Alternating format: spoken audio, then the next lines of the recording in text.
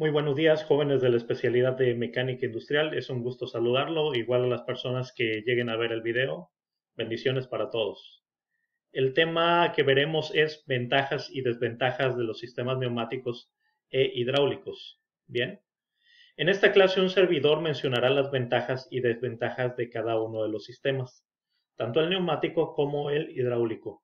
Por eso es de suma importancia que pongan atención y escuchen muy bien el video para que puedan definir de manera correcta lo que se les pedirá en la actividad siguiente, al terminar de escuchar dicho tema, ¿sí? Eh, bien, en la siguiente diapositiva yo les eh, presentaré solamente imágenes relacionadas al tema de ventajas y desventajas. Y pasando a esa otra diapositiva, yo les pondré palabras claves eh, que tienen que ver con, dicho tema, tanto de las ventajas y desventajas, ¿ok? Continuamos. Bien, en las siguientes imágenes hablaré levemente de cada una de ellas, ¿sí? En esta que vemos es una tubería de perforación o sarta de perforación que eh, soportan elevadas presiones ¿sí? y altas temperaturas. ¿ok? En el siguiente que tenemos aquí, vemos eh, un sistema neumático el compresor clásico que se maneja, ¿sí? En la siguiente cuestión de los equipos, en cuestión de los costos, eh, elevados costos, eh, cuestión de mantenimiento, etcétera, ¿sí? En la siguiente diapositiva, la transmisión de fuerzas por medio de un sistema hidráulico. En el siguiente, eh, la cuestión de, en el sistema neumático es muy ruidoso a comparación del sistema hidráulico, ¿sí? Aquí también la, medición de la presión, ¿sí? Por medio de un termómetro, ¿ok? En este una barrena de perforación, eh, una maquinaria de perforación de tipo somera, ¿sí? Perforaciones a pocos metros de profundidad. Y aquí un depósito o tanque de almacenamiento, de agua, ¿sí? Lo que podemos decir como un tinaco también. Bien.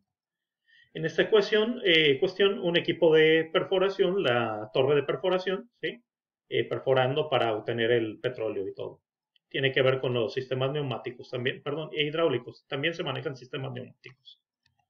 Ok. Aquí están perforando unas personas de este lado.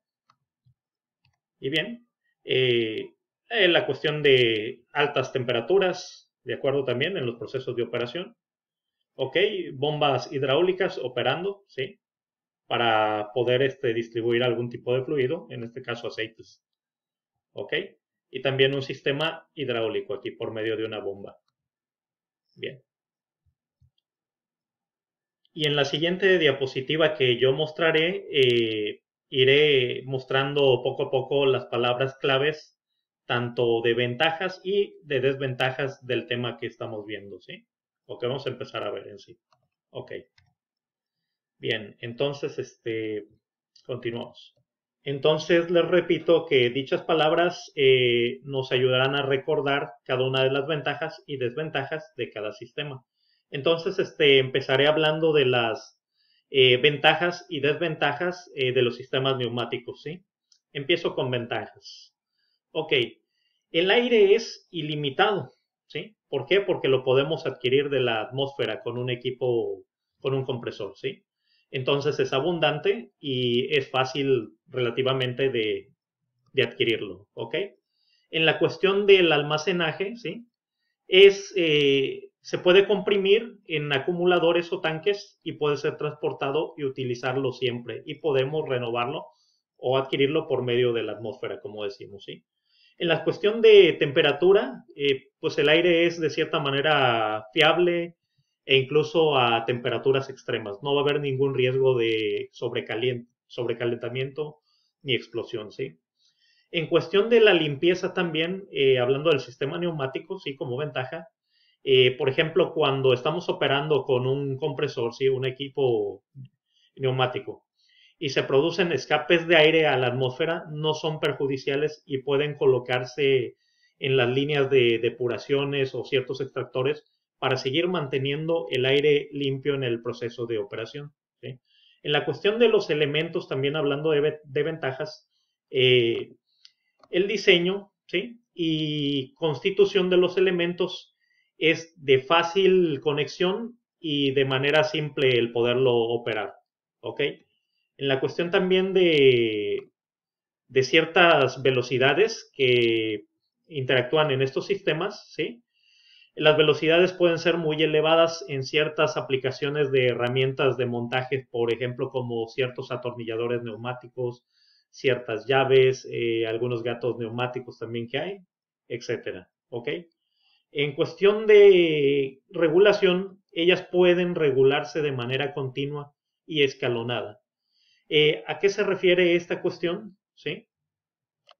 En que puede reutilizarse en sí una y otra vez en el sistema, ¿sí? Para elaborar el trabajo que requerimos y puede distribuirse el aire hacia el sistema que nosotros queramos este, trabajar, ¿sí?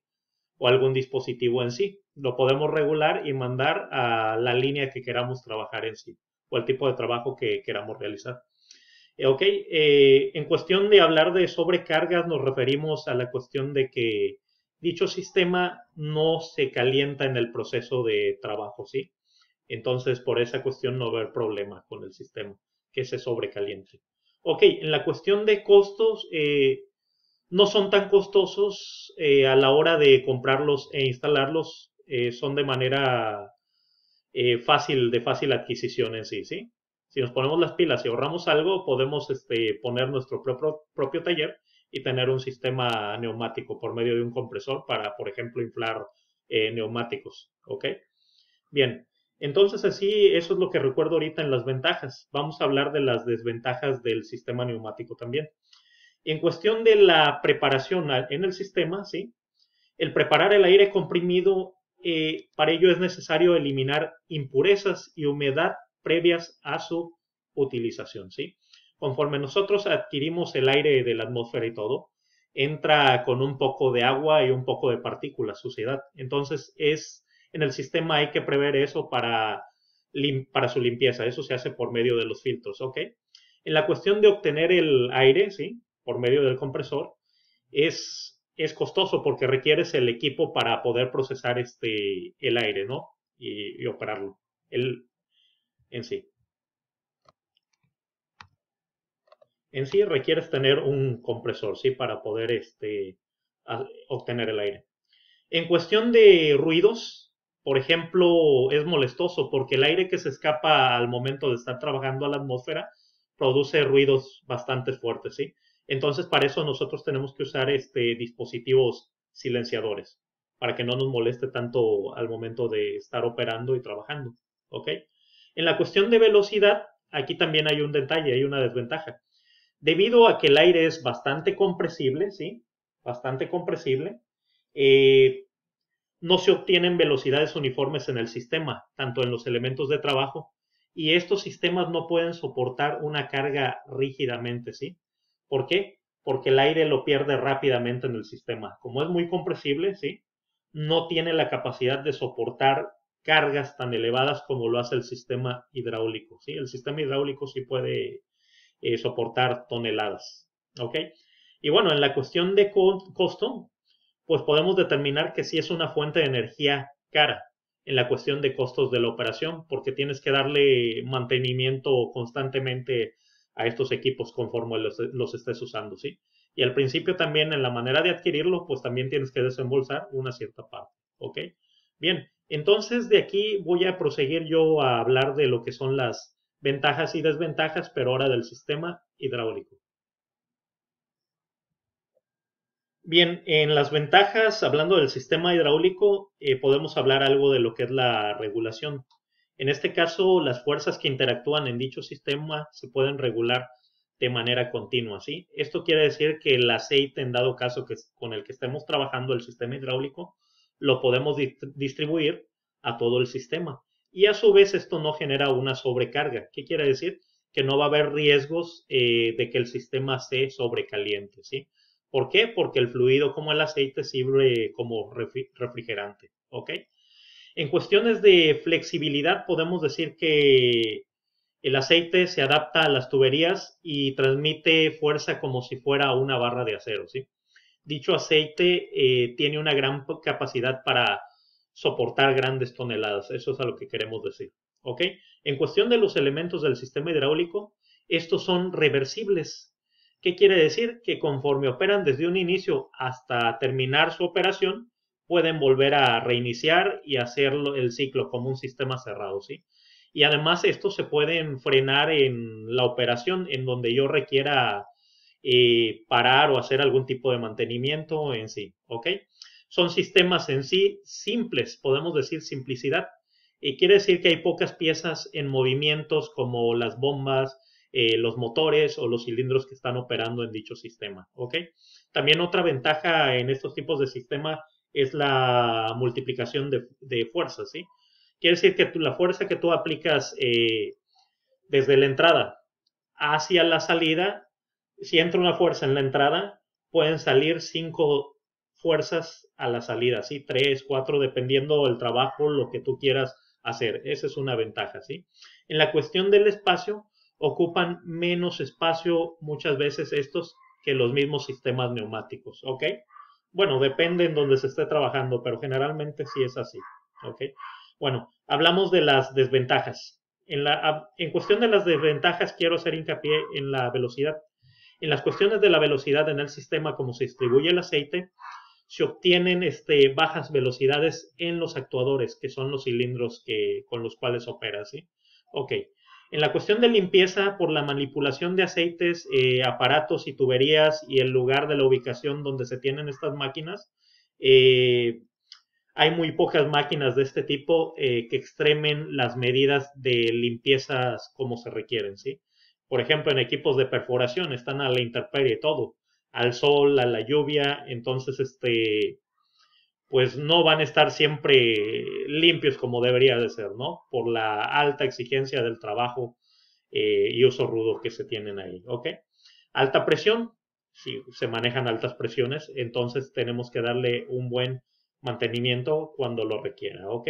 En la cuestión de costo, eh, las bombas, los motores, eh, las válvulas, servoválvulas, etcétera. Todos los elementos en sí son caros de estos tipos de sistemas, ¿ok? Entonces esas son desventajas de las cuales estamos hablando nosotros.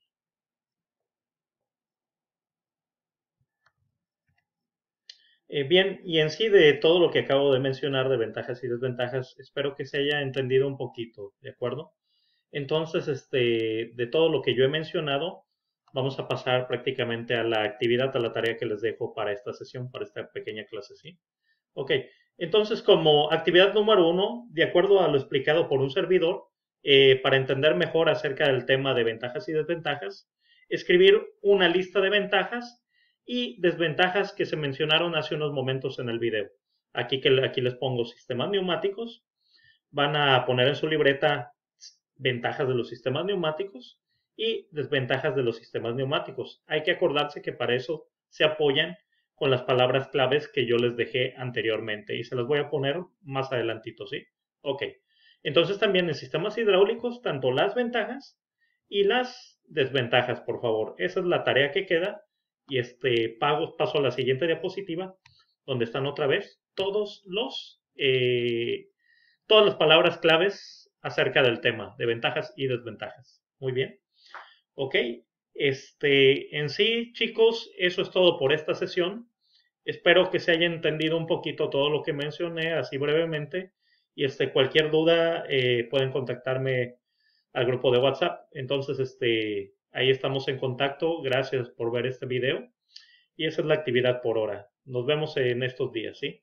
bendiciones a todos, también a los que ven el, el video. Un gusto saludarlos. ¿Ok?